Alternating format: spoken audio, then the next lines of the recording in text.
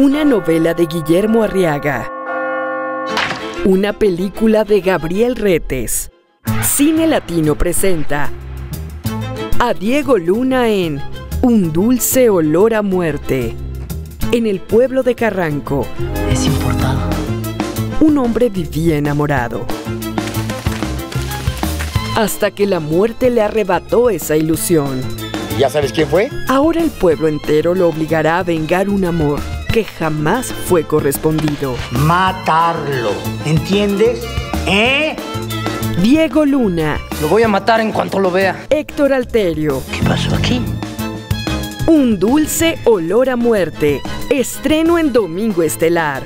Domingo 18 de diciembre a las 9 pm, 9.35 Pacífico. Por Cine Latino.